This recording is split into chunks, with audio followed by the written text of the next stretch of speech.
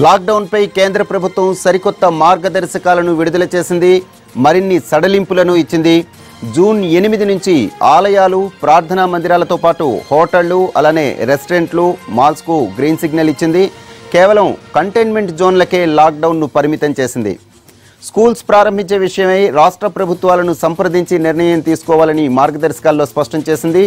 రాత్రి వేళల్లో విధించిన కర్ఫ్యూ విషయంలోనూ సడలింపులు ఇచ్చింది కేంద్ర ప్రభుత్వం. రాత్రి తొమ్మిది గంటల నుంచి ఉదయం ఐదు గంటల వరకే కర్ఫ్యూను పరిమితం చేసింది.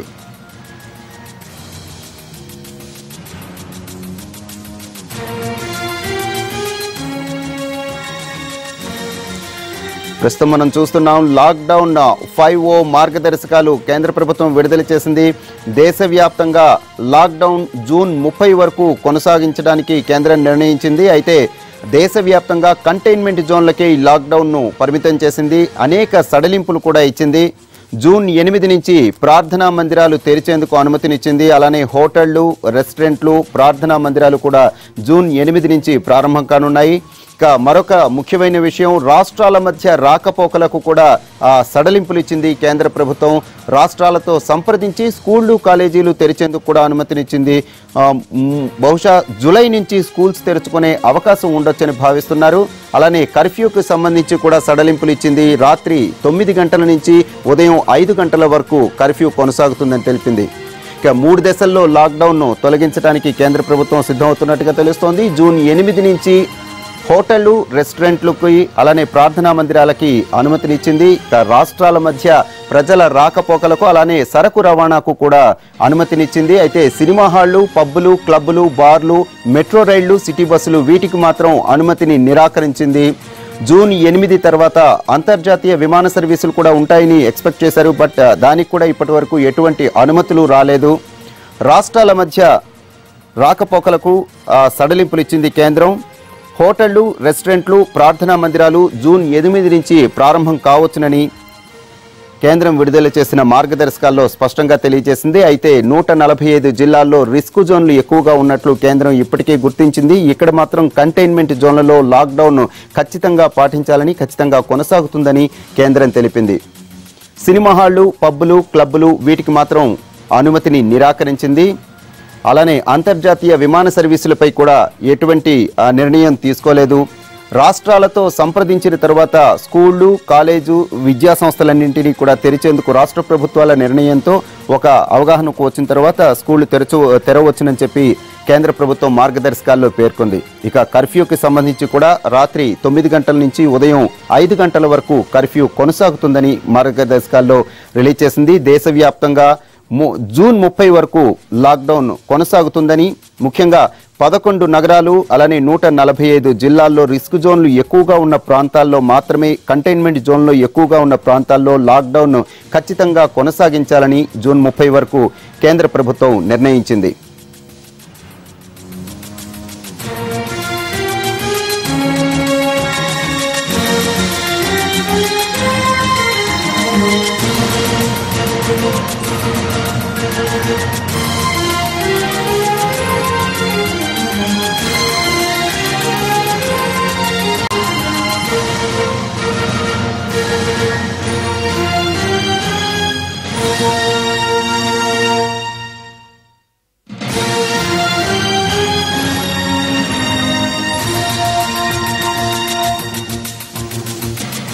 దేశవ్యాప్తంగా లాక్డౌన్ను కేంద్ర ప్రభుత్వం మరోసారి పొడిగించింది. మరిన్ని సడలింపులతో జూన్ ముప్పై వరకు లాక్డౌన్ను పొడిగించింది. జూన్ ఎనిమిది నుంచి ఆలయాలు తెరిచేందుకు అనుమతినిచ్చింది. జూన్ ఎనిమిది నుంచి హోటళ్ళు రెస్టారెంట్లు మాల్స్కు కూడా గ్రీన్ సిగ్నల్ లభించింది.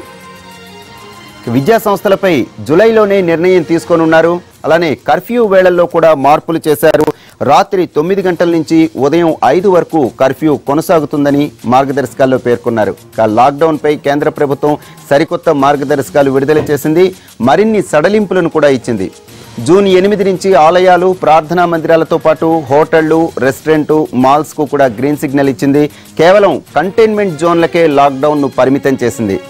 స్కూల్స్ ప్రారంభించే విషయమై రాష్ట్ర ప్రభుత్వాలను సంప్రదించి నిర్ణయం తీసుకుంటామని మార్గదర్శకాల్లో స్పష్టం చేసింది. రాత్రి వేళల్లో విధించిన కర్ఫ్యూ విషయంలోనూ సడలింపులిచ్చింది కేంద్రం. రాత్రి తొమ్మిది గంటల నుంచి ఉదయం ఐదు గంటల వరకే కర్ఫ్యూను పరిమితం చేసింది.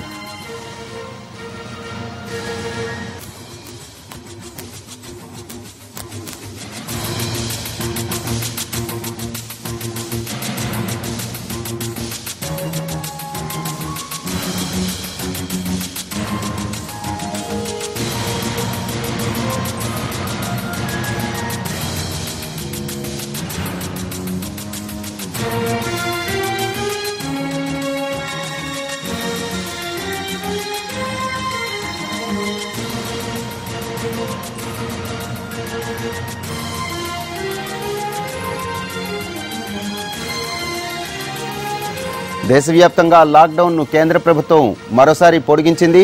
మరిన్ని సడలింపులతో జూన్ ముప్పై వరకు లాక్డౌన్ను పొడిగించింది. జూన్ ఎనిమిది నుంచి ఆలయాలు తెరిచేందుకు అనుమతినిచ్చింది. జూన్ ఎనిమిది నుంచి హోటళ్ళు రెస్టారెంట్స్ మాల్స్ అలానే ప్రార్థనా మందిరాలకు గ్రీన్ సిగ్నల్ ఇచ్చింది. విద్యా సంస్థలపై జూలైలోనే నిర్ణయం తీసుకోనున్నారు. అలానే కర్ఫ్యూ వేళల్లో కూడా మార్పు చేశారు. రాత్రి తొమ్మిది గంటల నుంచి ఉదయం ఐదు గంటల వరకు కర్ఫ్యూ కొనసాగుతుందని తెలిపారు. రేపటి నుంచే ఈ కర్ఫ్యూ అమలు ఈ సడలింపులు కూడా అమల్లోకి వచ్చే అవకాశం ఉంది. రాత్రి తొమ్మిది గంటల నుంచి ఉదయం ఐదు గంటల వరకు కర్ఫ్యూ కొనసాగనుంది. దేశవ్యాప్తంగా లాక్డౌన్ జూన్ ముప్పయో తేదీ వరకు కొనసాగనుంది. ముఖ్యంగా కంటైన్మెంట్ జోన్లలో ఈ లాక్డౌన్ను ఖచ్చితంగా అమలు చేయనున్నారు. అనేక సడలింపులతో కూడిన మార్గదర్శకాలను కేంద్ర ప్రభుత్వం రిలీజ్ చేసింది. ముఖ్యంగా హోటళ్ళు రెస్టారెంట్లు ప్రార్థనా మందిరాలు జూన్ ఎనిమిది నుంచి ఆ, తెరిచ తెరవచ్చునని చెప్పి మార్గదర్శకాలు రిలీజ్ చేసింది. ఇక మరొక ముఖ్యమైన అంశం ఏంటంటే రాష్ట్రాల మధ్య రాకపోకలకు కూడా సడలింపునిచ్చింది. అంటే అంతర్రాష్ట్ర రవాణాపై ఆంక్షలను ఎత్తివేసింది. అలానే స్కూల్స్ కాలేజెస్కి సంబంధించి రాష్ట్ర ప్రభుత్వాలతో చర్చించిన తరువాత వాటిపై నిర్ణయం తీసుకునే అవకాశం ఉంది. ముఖ్యంగా జూలైలో నుంచి స్కూల్స్ తెరిచే అవకాశం కనిపిస్తోంది. అలానే ఏవైతే నూట నలభై ఐదు జిల్లాలు పదకొండు నగరాలలో కరోనా ప్రభావం ఎక్కువగా ఉందో రిస్క్ జోన్లు ఎక్కువగా ఉన్నాయో అక్కడ లాక్డౌన్ను ఖచ్చితంగా అమలు చేయాలని లాక్డౌన్ జూన్ ముప్పై వరకు అమలు అమల్లో ఉంచాలని చెప్పి కేంద్రం మార్గదర్శకాలు రిలీజ్ చేసింది. దేశవ్యాప్తంగా లాక్డౌన్ జూన్ ముప్పై వరకు కొనసాగించడానికి కేంద్రం నిర్ణయించింది. అయితే జూన్ ఎనిమిది నుంచి అనేక సడలింపులు ఇస్తోంది. హోటళ్ళు రెస్టారెంట్లు ప్రార్థనా మందిరాలు జూన్ ఎనిమిది నుంచి తెరవవచ్చునని కేంద్రం తెలిపింది.